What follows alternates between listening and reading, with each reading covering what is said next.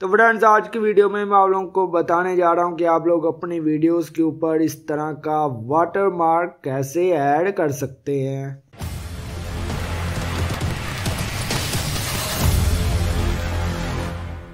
तो जो लोग अपना कंटेंट क्रिएट करते हैं ना लाइक अगर आप लोग इंस्टाग्राम रील्स को के ऊपर वीडियोस बनाते हैं या फिर कैप का टैबलेट्स बनाते हैं और अगर आप लोग चाहते हैं कि आप लोग जो कंटेंट बना रहे हो, भाई वो चोरी ना हो, ताकि लोगों को पता चल जाए कि ये रियल वीडियो किसकी है, तब आप लोग ये ऊपर वाटर मार्क ऐड करते हैं। तो ये कैसे करना है? बहुत ही ज़्यादा सिंपल है। सबसे पहले हमें वाटर मार्क क्रिएट करना है। तो न्यू प्रोजेक्ट में जाते हैं फ़ोटोज़ में जाएँ और यहाँ से कोई भी एक पिक्चर को सिलेक्ट करके यहाँ पर एडिट फ़ोटो के ऊपर क्लिक कर देना है।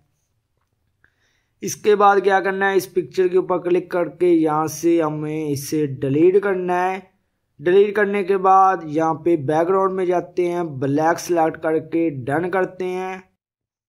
अब क्या करना है? यहाँ पे हम लोगों ने साइज़ में जाना है और यहाँ से थ्री बाई टू कर लेते हैं। अगेन डन अब क्या करना है? यहाँ पे टेक्स्ट के ऊपर जाते हैं और यहाँ पे अपना जो भी आप लोगों ने वाटर मार्क टाइप करना है, अपनी इंस्टाग्राम रील्स की जो हैंडलर है, वो लिखना है या फिर आप लोगों ने टैंपलेट कैप का टैंपलेट का जो आईडी है, वो लिखना है तो आप लोग वो टाइप कर सकते हैं। तो मैं यहाँ पे अपने चैनल का नाम लिख रहा हूँ।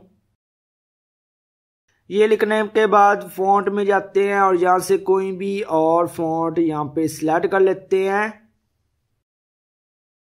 ये स्लाइड करने के बाद क्या करते हैं? अलाइनमेंट में आते हैं, इसे सेंटर करते हैं साइज़ थोड़ा सा इंक्रीज करते हैं और लेटर स्पेसिंग भी ऐड कर लेते हैं। और अब क्या करना है? इसे डन कर देना है। अब क्या करना है? ओपेसिटी में जाएँ और इसे 50 कर दें और यहाँ से इसे एक्सपोर्ट कर लेना है।